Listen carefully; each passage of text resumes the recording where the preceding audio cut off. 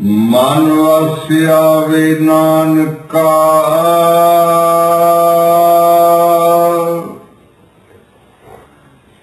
ਜੇ ਪੂਰਨ ਕਿਰਪਾ ਹੋਈ।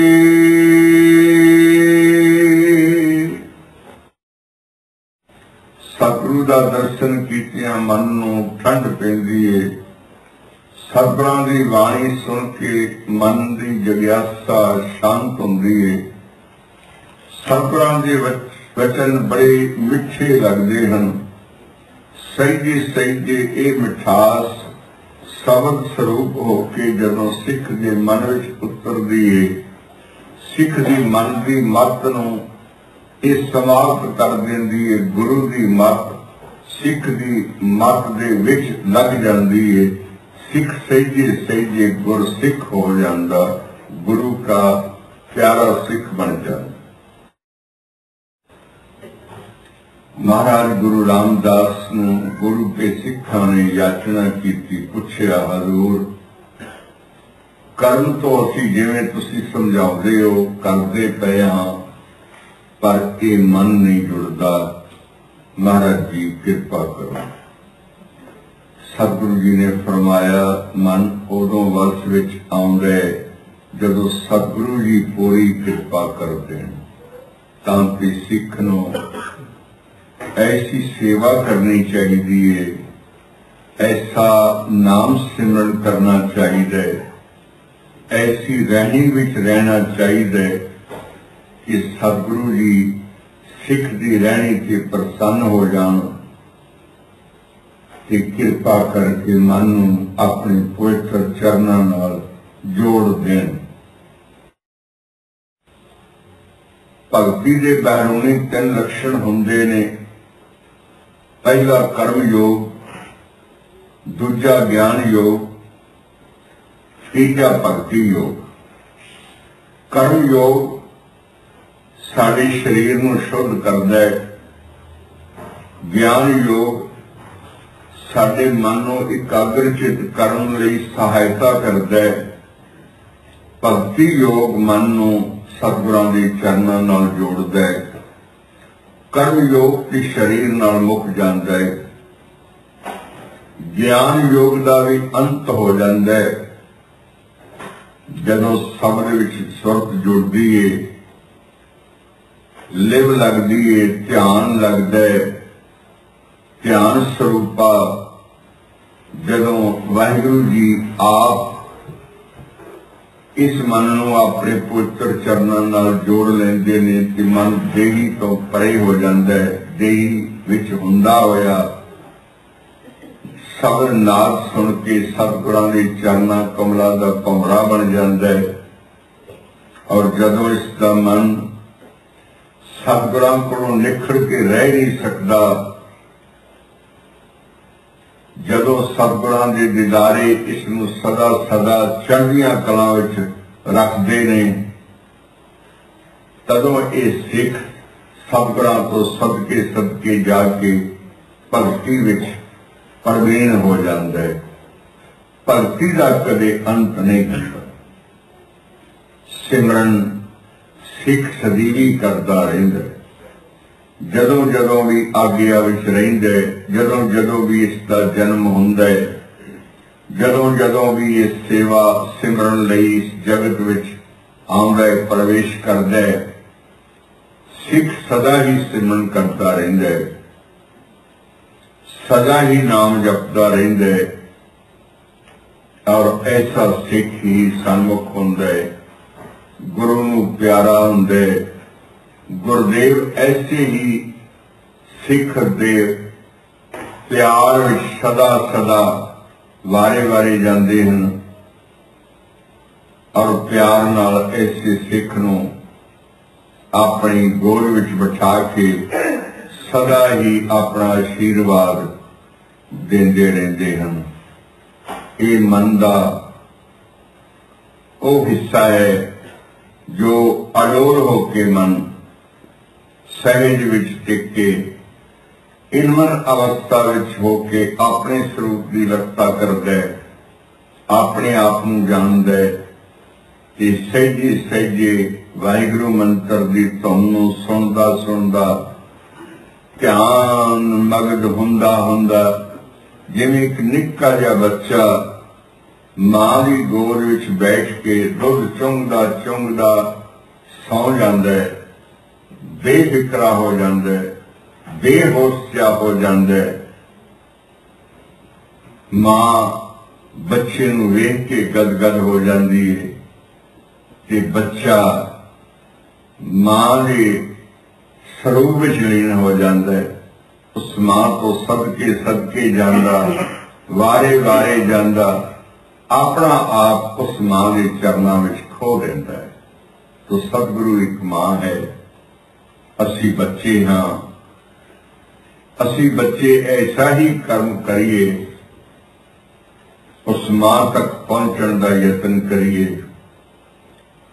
ਸਤਿਗੁਰਾਂ ਦੇ ਵਚਨ ਸੁਣੀਏ, ਸਹਿਜੇ ਸਹਿਜੇ ਸਤਿਗੁਰਾਂ ਦੀ ਆਗਿਆ ਵਿੱਚ ਰਹੀਏ। ਸੇਵਾ ਔਰ ਸਿਮਰਨ, ਇਹ ਦੋ ਹੀ ਤੇ ਕਰਮ ਨੇ ਜਿਹੜੇ ਅਸੀਂ ਕਰਨੇ ਹੈ। ਸੇਵਾ ਸਤਿਗੁਰੂ ਦੀ ਸੇਵਾ ਉਹਨਾਂ ਕਈ ਪ੍ਰਕਾਰ ਦੀ ਕੀਤੀ ਜਾਂਦੀ ਹੈ ਪਰ ਸੇਵਾ ਸੁਰਤ ਦੀ ਸਭ ਤੋਂ ਉੱਤਮ ਹੁੰਦੀ ਜਿਹਨੂੰ ਮਨ ਦੀ ਸੇਵਾ ਆਖੀ ਹੈ ਜਿਹਨੂੰ ਨਾਮ ਅਭਿਆਸ ਦੀ ਸੇਵਾ ਆਖੀ ਹੈ ਮਨ ਨੂੰ ਜੋੜਨ ਦਾ ਯਤਨ ਕਰਨਾ, ਇਹ ਸੇਵਾ ਆਪਣੀ ਸੁਰਤ ਨੂੰ ਸ਼ਬਦ ਨਾਲ ਲਾਉਣ ਦਾ ਯਤਨ ਕਰਨਾ, ਇਕਾਗਰ ਚਿਤ ਹੋਣ ਦਾ ਯਤਨ ਕਰਨਾ ਆਪਣੇ ਤਨ ਨੂੰ ਸੋਧ ਕੇ ਰੱਖਣਾ, ਮਨ ਨੂੰ ਸਾਵਧਾਨ ਰੱਖਣਾ। ਕਾਰਨ ਕਿ ਇਹ ਮਾਇਆ ਛਲ ਲੈਂਦੀ ਇਸ ਮਨ ਨੂੰ। ਮਾਇਆ ਦਾ ਤੇ ਮਨ ਦਾ ਸਿੱਧਾ ਜਿਹਾ ਸੰਬੰਧ ਹੈ। ਮਾਇਆ ਤੋਂ ਹੀ ਇਹ ਮਨ ਬਣਿਆ ਮਾਇਆ ਤੋਂ ਹੀ ਇਹ ਤਨ ਬਣਿਆ ਤੇ ਜਿਹੜੇ ਵਾਹਿਗੁਰੂ ਜੀ ਨੇ, ਉਹ ਮਾਇਆ ਤੋਂ ਰਹਿਤ ਨੇ। ਇਸ ਲਈ ਮਾਇਆ ਵਿੱਚ ਹੋ ਕੇ ਮਾਇਆ ਰਹਿਤ ਹੋਣਾ ਥੋੜਾ ਜਿਹਾ ਕਠਿਨ ਤੇ ਹੈ। ਪਰ ਜੇ ਕਦੇ ਮੱਛੀ ਵਾਂਗੂ ਸਮਝ ਆ ਜਾਵੇ ਕਿ ਪਾਣੀ ਕਿਵੇਂ ਪੀਣਾ ਹੈ, ਕਬੀਰ ਕਹਿੰਦੇ ਨੇ, ਇਹ ਮੱਛੀ ਪਾਣੀ ਵਿੱਚ ਰਹਿੰਦੀ ਹੈ ਪਾਣੀ ਹੀ ਇਸ ਦਾ ਜੀਵਨ ਹੈ, ਪਰ ਮੱਛੀ ਪਾਣੀ ਤੋਂ ਪਿਆਸੀ ਰਹਿੰਦੀ ਹੈ ਮੱਛੀ ਦੇ ਅੰਦਰ ਤੜਪ ਰਹਿੰਦੀ ਹੈ ਅਗਨੀ ਰਹਿੰਦੀ ਹੈ ਸ਼ਾਂਤ ਨਹੀਂ ਹੁੰਦੀ। ਇਸੇ ਕਾਰਨ ਇਧਰ ਉਧਰ ਘੁੰਮਦੀ ਰਹਿੰਦੀ ਉੱਪਰ ਨੀਚੇ। ਜਲ ਵਿੱਚ ਰਹਿੰਦਿਆਂ ਹੋਇਆਂ ਹੀ ਇਹ ਮੱਛੀ ਜਲ ਤੋਂ ਪਿਆਸੀ ਰਹਿੰਦੀ ਹੈ ਕਬੀਰ ਕਹਿੰਦੇ ਨੇ, ਮੈਨੂੰ ਇਸ ਅਕਸਰ ਦਾ ਪਤਾ ਨਹੀਂ ਲੱਗਾ, ਇਹ ਕੀ ਕਾਰਨ ਹੈ? ਸਤ ਇਸ ਨੂੰ ਵਾਹਿਗੁਰੂ ਜੀ ਆਖੀ ਦੇ ਉਹ ਸਰਵ ਵਿਆਪਕ ਹੈ ਅਸੀਂ ਉਸ ਦੇ ਮੱਛੀ ਵਾਂਗੂ ਅੰਦਰ ਔਰ ਬਾਹਰ ਘੁੰਮ ਰਹੇ ਹਾਂ ਕੋਈ ਐਸੀ ਥਾਂ ਹੈ ਨਹੀਂ ਜਿੱਥੇ ਸਤ ਨਾ ਹੋਵੇ ਤਾਂ ਕਿ ਸਤ ਸਾਡੇ ਅੰਦਰ ਵੀ ਹੈ ਬਾਹਰ ਵੀ ਹੈ ਸੱਜੇ ਵੀ ਹੈ ਖੱਬੇ ਵੀ ਹੈ ਉੱਪਰ ਵੀ ਹੈ ਨੀਚੇ ਵੀ ਹੈ ਹਰ ਪਾਸੇ ਸਤ ਹੀ ਸਤ ਹੈ ਸਤ ਹੀ ਸਾਡੇ ਪ੍ਰਾਣ ਨੂੰ ਚਲਾਉਂਦਾ ਹੈ ਸਤ ਹੀ ਸਾਡੇ ਅੱਖਾਂ ਵਿੱਚ ਦੀ ਸਾਨੂੰ ਵਿਖਾਉਂਦਾ ਜਗਤ ਨੂੰ ਸਤ ਹੀ ਅੰਤਰਮੁਖ ਹੋਣ ਦਾ ਯਤਨ ਕਰਦਾ ਹੈ। ਔਰ ਸਤ ਦੇ ਸਹਾਰੇ ਹੀ ਅਸੀਂ ਆਨੰਦ ਮਾਣਦੇ ਹਾਂ, ਸੁਖ ਮਾਣਦੇ ਹਾਂ ਇੰਦਰੀਆਂ ਦਾ। ਇਹ ਸਭ ਸਤ ਦੀ ਕਿਰਪਾ ਹੈ, ਪਰ ਸਤ ਦੇ ਵਿੱਚ ਹੁੰਦਿਆਂ ਹੋਇਆਂ ਜਿਵੇਂ ਮੱਛੀ ਸ਼ਾਂਤ ਹੁੰਦੀ ਹੈ ਇਦਾਂ ਮਨ ਵੀ ਅਸ਼ਾਂਤ ਹੈ। ਕਾਰਨ ਕਿ ਮਨ ਨੂੰ ਦਰਸ਼ਨਾਂ ਦੀ ਪਿਆਸ ਲੱਗੀ ਏ ਤੇ ਦਰਸ਼ਨ ਹੁੰਦਾ ਨਹੀਂ ਜਿਵੇਂ ਮੱਛੀ ਪਾਣੀ ਵਿੱਚ ਹੈ। ਮੱਛੀ ਪਾਣੀ ਪੀ ਨਹੀਂ ਸਕਦੀ, ਪਿਆਸੀ ਰਹਿੰਦੀ ਏ। ਉਸ ਮੱਛੀ ਨੇ ਜਦੋਂ ਪਾਣੀ ਪੀਣਾ ਹੁੰਦਾ ਹੈ, ਉਦੋਂ ਮੱਛੀ ਉਲਟਦੀ ਉਹਦਾ ਮੂੰਹ ਖੁੱਲ ਜਾਂਦਾ ਹੈ। ਚੰਦ ਦੇ ਕਤਰੇ ਮੱਛੀ ਦੇ ਅੰਦਰ ਚਲੇ ਜਾਂਦੇ ਨੇ। ਫਿਰ ਮੱਛੀ ਸਿੱਧੀ ਹੋ ਜਾਂਦੀ ਹੈ ਭਾਵ ਫਿਰ ਉੱਠ ਜਾਂਦੀ ਹੈ। ਮੱਛੀ ਪਾਣੀ ਪੀਣ ਵਾਸਤੇ ਸਿੱਧੀ ਹੁੰਦੀ ਹੈ ਤਾਂ ਪਾਣੀ ਅੰਦਰ ਦਾਖਲ ਹੁੰਦਾ ਹੈ। ਉਹਦੀ ਪਿਆਸ ਬੁਝ ਜਾਂਦੀ ਹੈ ਫਿਰ ਮੱਛੀ ਉੱਠੀ ਹੋ ਜਾਂਦੀ ਹੈ ਆਪ ਸਰਪ ਨੂੰ ਚਲਦਿਆਂ ਵੇਖਿਆ ਹੋਵੇਗਾ ਸਰਪ ਹਮੇਸ਼ਾ ਕਿਹੜੀ ਚਾਲ ਚੱਲਦਾ ਹੈ? ਸਰਪ ਜਿਹੜਾ ਹੈ, ਉਹ ਸਦਾ ਹੀ ਡਿੰਗਾ ਹੀ ਚੱਲਦਾ ਹੈ। ਪਰ ਸਰਪ ਨੇ ਜਦੋਂ ਆਪਣੀ ਰੁੱਡ ਵਿੱਚ ਵੜਨਾ ਹੁੰਦਾ ਹੈ, ਇਹ ਆਪਣੇ ਆਪ ਸਿੱਧਾ ਹੋ ਜਾਂਦਾ ਇਸ ਤਰ੍ਹਾਂ ਸਾਡਾ ਮਨ ਸਰਪ ਦੀ ਚਾਲ ਚੱਲਦਾ ਹੈ, ਕਿਹੜਾ ਮੇਰਾ? ਇੱਧਰ ਉੱਧਰ ਚੱਲਦਾ ਹੈ। ਅਡੋਲ ਨਹੀਂ ਹੁੰਦਾ, ਕਦੇ ਇੱਧਰ ਡਿੱਗਦਾ ਕਦੇ ਉੱਧਰ ਡਿੱਗਦਾ ਪਰ ਜਦੋਂ ਇਹ ਸਤਿਗੁਰੂ ਦੇ ਚਰਨਾਂ ਵਿੱਚ ਆਉਂਦਾ ਹੈ, ਇਹ ਫਿਰ ਆਪਣੇ ਆਪ ਹੀ ਸਿੱਧਾ ਹੋ ਜਾਂਦਾ ਇਸ ਸਰਪ ਨੇ ਸਿੱਧਾ ਕਿੱਦਾਂ ਹੋਣਾ ਮਨ ਇੱਕ ਸਰਪ ਹੈ। ਸਤਿਗੁਰੂ ਮਹਾਰਾਜ ਸੱਚੇ ਪਾਤਸ਼ਾਹ ਦਾ ਸਰੂਪ ਇੱਕ ਰੁੱਡ ਹੈ, ਜਿਸ ਦੇ ਵਿੱਚ ਸਰਪ ਨੇ ਜਾ ਕੇ ਆਪਣੇ ਆਪ ਨੂੰ ਬਚਾ ਲੈਣਾ ਹੈ। ਭਾਵ ਸਿੱਖ ਉਲਟਿਆ ਹੋਇਆ ਹੈ, ਇਸ ਨੇ ਸਿੱਧਾ ਹੋਣਾ ਹੈ। ਉਲਟੇ ਹੋਣ ਨਾਲ ਇਹਦੀ ਮੱਤ ਉਲਟ ਗਈ ਹੈ ਕਿ ਬਾਹਰ ਮੁਖੀ ਹੋ ਕੇ ਭੌਤਿਕ ਜਗਤ ਵਿੱਚ ਰਹਿੰਦਾ ਹੈ। ਪਰ ਅਸ਼ਾਂਤ ਰਹਿੰਦਾ, ਪਿਆਸਾ ਰਹਿੰਦਾ। ਇਸ ਦੀ ਪਿਆਸ ਤभी ਬੁਝੇਗੀ ਜੇ ਵਾਹਿਗੁਰੂ ਨਾਮ ਦਾ ਰਸ ਇਸ ਨੂੰ ਪ੍ਰਾਪਤ ਹੋ ਜਾਏ, ਜਿਸ ਨੂੰ ਆਬੇ ਹਯਾਤ ਆਖੀਦੇ ਜਿਹਨੂੰ ਅੰਮ੍ਰਿਤ ਆਖੀਦੇ ਮਨ ਜਿਹੜਾ ਹੈ, ਇਹ ਨਾਭੀ ਵਿੱਚ ਰਹਿੰਦਾ ਹੈ। ਸਵਾਸ ਚੱਲਦਾ ਤੇ ਮਨ ਉੱਥੇ ਰਹਿੰਦਾ ਇਸ ਲਈ ਸਵਾਸਾਂ ਦੇ ਨਾਲ ਮਨ ਦੀ ਪਹਿਲੀ ਖੁਰਾਕ ਹੈ ਉਦਰ ਭਰਨਾ ਭੋਜਨ।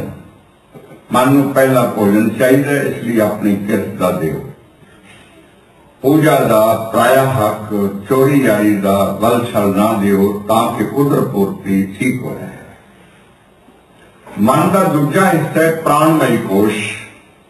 ਪ੍ਰਾਣ ਚੱਲਣਾ ਹੈ, ਸਵਾਸ ਦਾ ਚੱਲਣਾ ਸਵਾਸ ਨੂੰ ਸਾਫ਼ ਰੱਖਣ ਵਾਸਤੇ ਬੀੜੀ, ਸਿਗਰਟ ਤਮਾਕੂ ਸ਼ਰਾਬ ਨਾ ਪੀਓ। ਇਸ ਦਾ ਤੰਗ ਨਾ ਕਰਨਾ ਤਾਂ ਕਿ ਪ੍ਰਾਣ ਠੀਕ ਚੱਲੇ ਸਵਾਸ ਠੀਕ ਚੱਲੇ।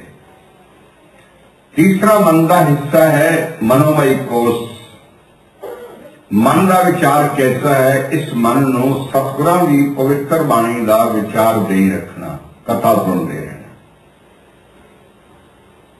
ਕਿਸੇ ਐਸੇ ਦੀ ਕਥਾ ਸੁਣਦੇ ਰਹਿਣਾ ਜਿਹੜਾ ਸੱਚ ਨਾਲ ਜੁੜਿਆ ਹੋਵੇ, ਉਹ ਤੁਹਾਨੂੰ ਅਕਥ ਕਥਾ ਸੁਣਾਵੇ।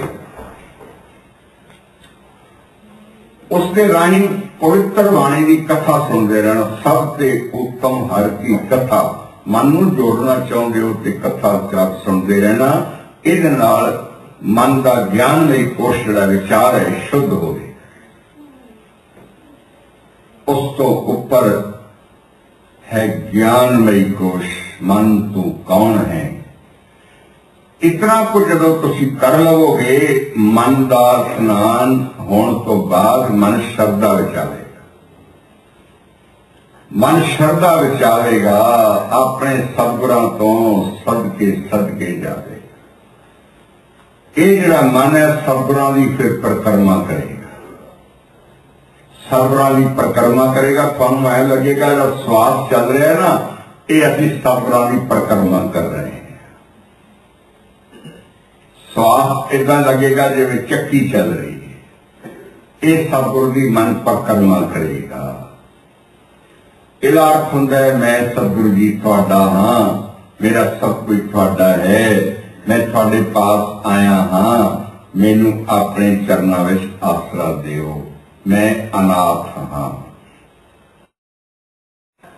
ਅੰਮ੍ਰਿਤ ਸਰੋਵਰ ਇਤਨਾ ਨਾਮ ਦਾ ਅਭਿਆਸ ਕਰੇ ਕਿ ਮਨ ਮਿੱਠਾ ਹੋ ਜਾਏ ਇਤਨੇ ਨਾਮ ਦਾ ਅਭਿਆਸ ਕਰੇ ਕਿ ਦੇਹੀ ਤੋਂ ਪਰੇ ਹੋ ਜਾਏ ਇਤਨਾ ਨਾਮ ਦਾ ਅਭਿਆਸ ਕਰੇ ਕਿ ਪਹਿਲਾਂ ਉਦਰ ਪੂਰਤੀ ਤੋਂ ਸੰਤੁਸ਼ਟ ਹੋ ਜਾਏ ਫਿਰ ਪ੍ਰਾਣਾ ਤੋਂ ਸੰਤੁਸ਼ਟ ਹੋ ਜਾਏ ਫਿਰ ਵਿਚਾਰਾਂ ਤੋਂ ਸੰਤੁਸ਼ਟ ਹੋ ਜਾਏ ਫਿਰ ਆਪਣੇ ਲਕਸ਼ ਤੋਂ ਸੰਤੁਸ਼ਟ ਹੋ ਜਾਏ ਕਿ ਮੈਂ ਗੁਰੂ ਦਾ ਗੁਰੂ ਮੇਰੇ ਨੇ ਔਰ ਇਸ ਗਿਆਨ ਤੋਂ ਇਸਨੇ ਆਨੰਦਮਈ ਕੋਸ਼ ਵਿੱਚ ਜਾਣਾ ਹੈ, ਇੱਥੇ ਮਨ ਦਾ ਜੁੜਾਵ ਆਤਮਾ ਨਾਲ ਹੋ ਜਾਏ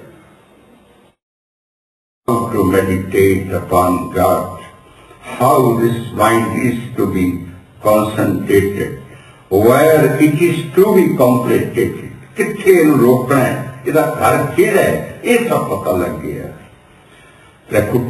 ਪ੍ਰਕ੍ਰਿਤੀ ਜਿਹਦਾ ਸ਼ਬਦ ਹੋਣੇ ਮਹਾਂਪੁਰਸ਼ਾਂ ਨੇ ਕਿਹਾ ਪ੍ਰਕੁੱਤੀ ਸਵਾਸ ਖੱਬਾ ਤੇ ਸੱਜਾ ਜਿਹੜਾ ਚੱਲਦਾ ਹੈ, ਇਹਦੇ ਦਰਮਿਆਨ ਸਵਾਸ ਸੁੱਖ ਨੂੰ ਸਭ ਨੂੰ ਜਿੱਥੇ ਪਕੜਦਾ ਹੈ, ਉਹਨੂੰ ਪ੍ਰਕੁੱਤੀ ਛੁੱਟਣਾ ਕਹਿੰਦੇ ਨੇ ਕਿ ਤਿਉੜੀ ਨਹੀਂ ਕਹਿੰਦੇ ਤਿਉੜੀ ਸਰੀਰ ਦਾ ਇੱਕ ਕਰਮ ਹੈ ਅਸੀਂ ਸਰੀਰ ਨਹੀਂ ਹਾਂ ਇਹਦਾ ਪਿੰਗਲਾ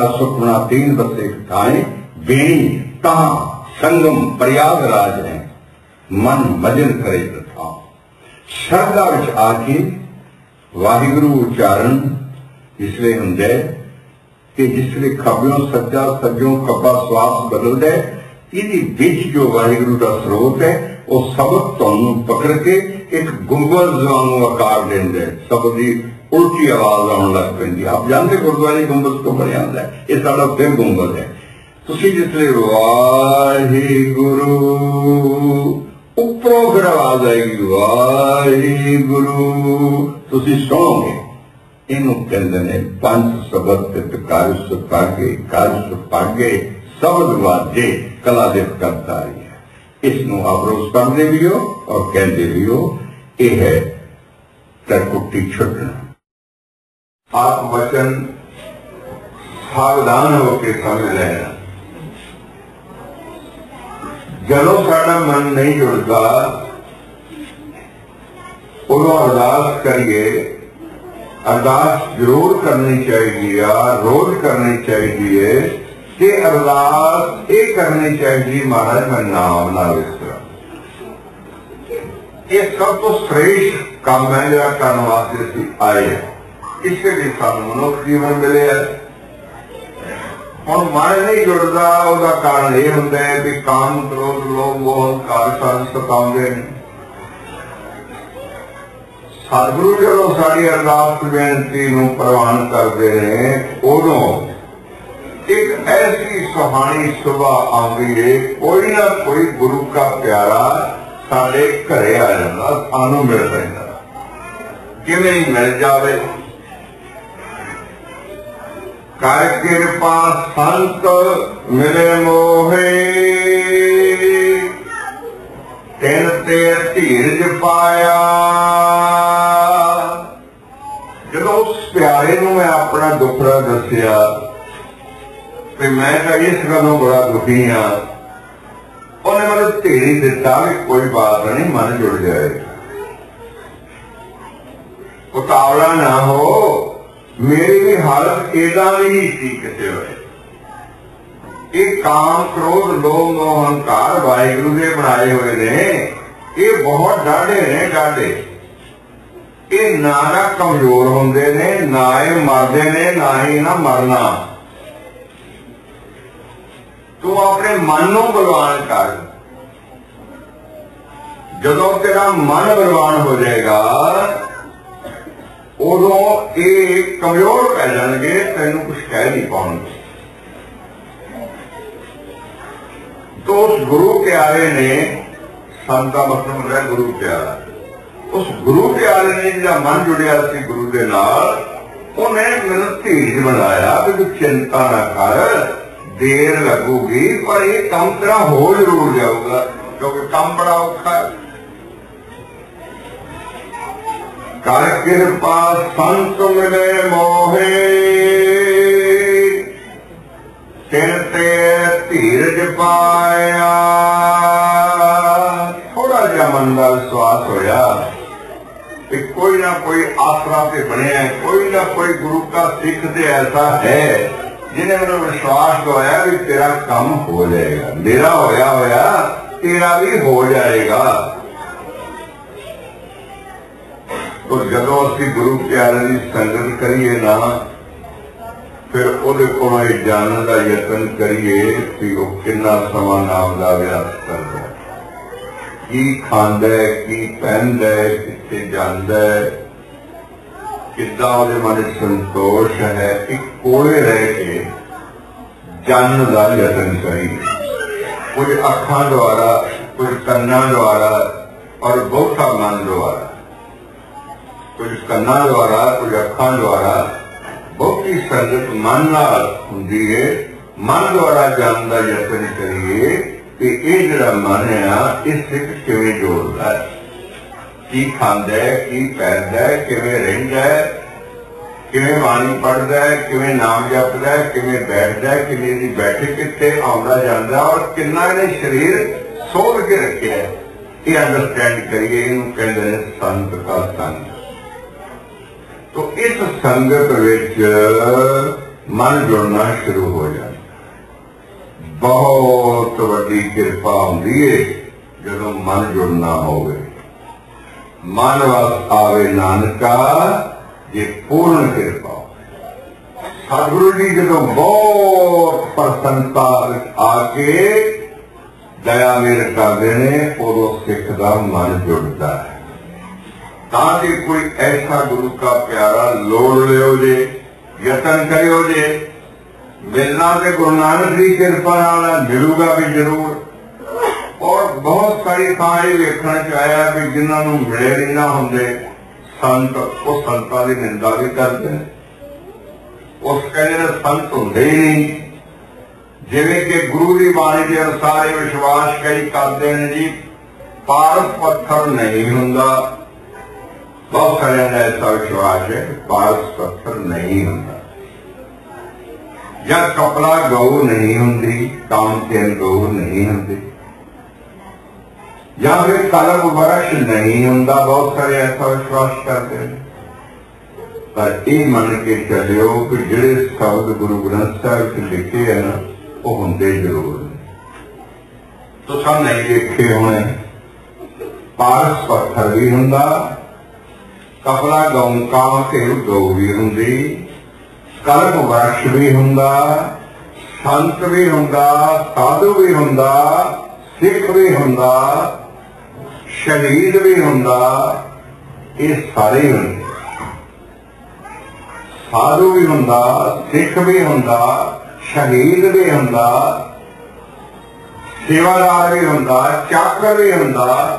ਪਾੜਾ ਵੀ ਹੁੰਦਾ ਕੀਰਤਨਿਆ ਵੀ ਹੁੰਦਾ ਪਾਠੀ ਵੀ ਹੁੰਦਾ ਗਾਸੀਆ ਵੀ ਹੁੰਦਾ। ਇਹ ਹੁੰਦੇ ਗੁਰੂ ਘਰ ਜ਼ਰੂਰ ਨੇ।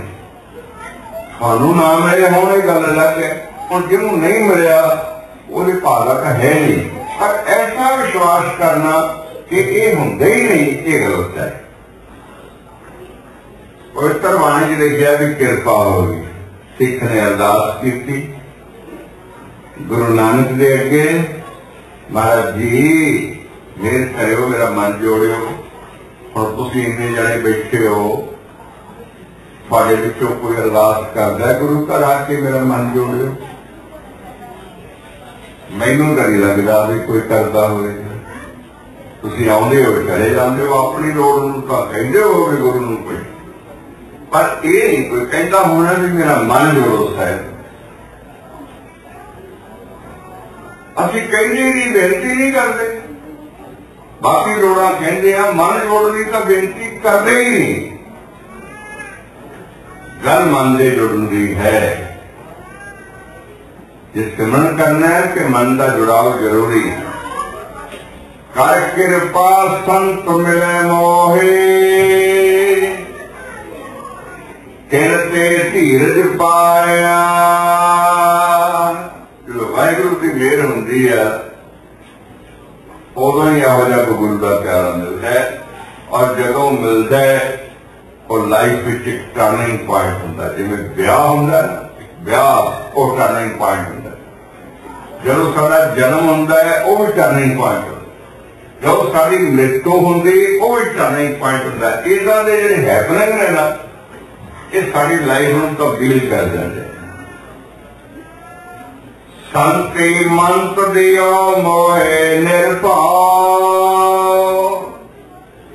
ਉਸ ਗੁਰੂ ਪਿਆਰੇ ਨੇ, ਉਸ ਸੰਤ ਨੇ ਮੈਨੂੰ ਮੰਤਰ ਦਿੱਤੀ, ਰਾਏ ਦਿੱਤੀ। ਇੱਕ ਰਾਏ ਦਿੱਤੀ ਵੀ ਤੂੰ ਵਾਹਿਗੁਰੂ ਜਪਿਆ ਇਹਦੇ ਨਾਲ ਨਿਰਭਉ ਉਹਨਾਂ ਸੰਤਾਂ ਦਾ ਕੀ ਕੰਮ ਹੈ? ਉਹਨਾਂ ਇਹ ਦਲੀਲ ਦਿੱਤੀ ਵੀ ਤੂੰ ਵਾਹਿਗੁਰੂ ਨਾਮ ਜਪਿਆ ਕਰ ਵਾਹਿਗੁਰੂ ਜਪਣ ਵਾਲਾ ਜਿਹੜਾ ਹੈ ਨਾ ਉਹ ਨਿਰਭਉ ਹੋ ਜਾਊਗਾ। ਇਹ ਮੇਰੇ ਗੁਰੂ ਨੇ ਸਿੱਖਿਆ ਹੈ। ਮੈਂ ਕਮਾਇਆ ਹੈ। ਮੈਂ ਜਪ ਰਿਹਾ ਤੂੰ ਵੀ ਜਪਿਆ ਕਰ। ਮੇਰਾ ਇਹਨਾਂ ਦੁਸ਼ਮਣਾਂ ਨੇ ਖੜਾ ਛੱਡ ਦਿੱਤਾ। ਤੇਰਾ ਵੀ ਛੁੱਟ ਜਾਊਗਾ। ਸੰਤੀ ਮੰਤ ਦਿਓ। ਇੱਥੇ ਕਈ ਸੰਤ ਅਰਥ ਗਲਤ ਕਰਦੇ ਨੇ ਕਿ ਸੰਤ ਮੰਤਰ ਦਿੰਦੇ ਨੇ। ਸੰਤ ਮੰਤਰ ਨਹੀਂ ਦਿੰਦੇ। ਇੱਥੇ ਮੰਤੀ ਦਾ ਅਰਥ ਹੈ ਮੰਤਰ ਨਾ ਦਿੱਤੀ ਐਡਵਾਈਸ ਦਿੱਤੀ, ਇੱਕ ਰਾਏ ਦਿੱਤੀ। ਸੰਤੇ ਮੰਤ ਦਿਓ ਮੋਹਿ ਨਿਰਭਉ ਹੁਣ ਤੂੰ ਫਿਕਰ ਚ ਨਾ ਤਾਂ ਫਿਕਰ ਲੈ ਜਾਊਗਾ। ਤੂੰ ਵਾਹਿਗੁਰੂ ਨਾਮ ਜਪ। ਮਹਾਰਾਜ ਨੇ ਬਾਣੀ ਚ ਲਿਖਿਆ ਨਿਰਭਉ ਜਪੇ, ਸਗਲ ਪਾਉ ਤੂੰ ਵਾਹਿਗੁਰੂ ਦਾ ਨਾਮ ਜਪ, ਤਾਂ ਇਹਨਾਂ ਤੋਂ ਖੜਾ ਛੁੱਟੂਗਾ। ਨਹੀਂ ਤੇ ਨਹੀਂ ਛੁੱਟਣਾ। ਉਹਨਾਂ ਮੰਤਰਾਂ ਦਿੱਤੀ ਤੇ ਮੈਂ ਮੰਨ ਲਈ। ਹੁਣ ਕਿ ਦੂਜੀ ਗੱਲ ਵੀ ਆ, ਮੰਨ ਲੈਣਾ। ਹੁਣ ਮੰਨਣਾ ਵੀ ਤਾਂ ਉਹਨੇ ਆ, ਜਿਹੜਾ ਔਖਾ ਹੈ। ਅੱਜ ਕੱਲ ਇਹੋ ਜਿਹੇ ਮੰਨਣ ਵਾਲੇ ਵੀ ਨੇ, ਉਹ ਕਹਿਣਗੇ, ਸਾਡੀ ਸਾਥੋਂ ਨਾਮ ਨਹੀਂ ਜਪਦਾ ਹੋਰ ਜੋ ਮਰਜ਼ੀ ਕਰਵਾ ਪੈਸੇ ਲੈ ਲਓ, ਜ਼ਮੀਨ ਲੈ ਲਓ, ਕੱਪੜੇ ਲੈ ਲਓ, ਸੋਨਾ ਲੈ ਲਓ। ਜੋ ਮਰਜ਼ੀ ਲੈ ਲਓ, ਨਾਮ ਨਹੀਂ ਸਾਡੇ ਕੋਲ ਜਪਦਾ ਇਹ ਜਿਹੜੇ ਅਮੀਰ ਆਦਮੀ ਪਏ ਹੁਣ ਇਹਨਾਂ ਕੋਲ ਲੈ ਕੇ ਅਸੀਂ ਕੀ ਕਰਾਂਗੇ ਭਾਈ? ਸੰਤੇ ਮਨ ਕੁਦਿਓ ਮੋਹਿ ਨਿਰਭਉ ਗੁਰ ਕਾ ਸ਼ਬਦ ਕਮਾਇਆ ਗੁਰੂ ਕਾ ਸ਼ਬਦ, ਗੁਰੂ ਕਾ ਮੰਤਰ। ਅਗਰ ਮੈਂ ਗੱਲ ਮੰਨ ਲਈ, ਜੋ ਉਸ ਪਿਆਰੇ ਨੇ ਕਿਹਾ, ਵਾਹਿਗੁਰੂ ਜਪੋ, ਤੇ ਮੈਂ ਵਾਹਿਗੁਰੂ ਜਪਣ ਲੱਗ ਔਰ ਉਸ ਪਿਆਰੇ ਨੇ ਮੈਨੂੰ ਇੱਕ ਦਲੀਲ ਦਿੱਤੀ ਸੀ ਮੇਰੇ ਮਨ ਨੂੰ ਧੀਰਜ ਆਇਆ ਸੀ। ਮੈਂ ਸੋਚਿਆ, ਹੁਣ ਮੈਂ ਇਸ ਸੰਗਤ ਵਿੱਚ ਰਹਾ। ਅੱਜ ਮੈਨੂੰ ਉਹਨੇ ਇਹ ਗੱਲ ਕਹੀ ਆ ਕੱਲ ਨੂੰ ਇਹ ਹੋਰ ਵੀ ਕੁਝ ਸਮਝ ਆਵੇਗਾ ਇਹਨੂੰ ਸਾਧ ਸੰਗਤ ਆਖੀ ਹੈ। ਪਵਿੱਤਰ ਬਾਣੀ ਵਿੱਚ ਸਾਧ ਸੰਗਤ ਦੀ ਮਹਿਮਾ ਇਤਨੀ ਉੱਚੀ ਕਹੀ ਗਈ ਹੈ ਇਹ ਆਪ ਸਭ ਜਾਣਦੇ ਹੋ। ਸਾਧ ਸੰਗਤ, ਸੰਤੇ ਮੰਤ ਦਿਓ ਮੋਹਿ ਨਿਰਭਉ, ਗੁਰ ਕਾ ਸ਼ਬਦ ਕਮਾਇਆ। ਉਹਨੇ ਇੱਕੋ ਗੱਲ ਕਹੀ, ਵਾਹਿਗੁਰੂ ਨਾਮ ਜਪ। ਮੈਂ ਜਪਣ ਲੱਗ ਪਿਆ, ਜੀਤ ਲਿਏ ਓਏ ਮਹਾ ਬਖਾਦੇ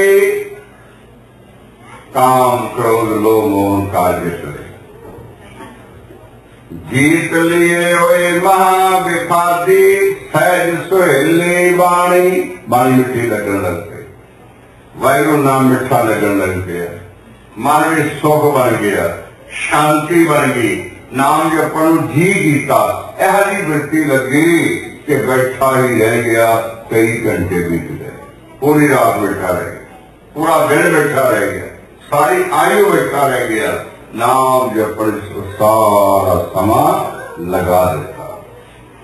ਜੀਤ ਲਿਏ ਓ ਮਹਾ ਵਿਖਾਦੇ ਸਹਿਜ ਸੁਹੇਲੇ ਬਾਣੀ, ਕਉ ਕਮਨ ਮਨ ਭਇਆ ਪ੍ਰਗਾਸਾ, ਪਾਇਆ ਪਦ ਨਿਰਵਾਣੀ ਗੁਰਸਿੱਖੀ ਸਹਿਜ ਦਾ ਨਾਮ ਹੈ, ਔਰ ਸਹਿਜ ਇੱਕ ਸਟੇਜ ਹੈ ਜਿਹੜੀ ਅਚੀਵ ਕੀਤੀ ਜਾਂਦੀ ਹੈ, ਪ੍ਰਾਪਤ ਕੀਤੀ ਜਾਂਦੀ ਹੈ, ਯਤਨ ਨਾਲ।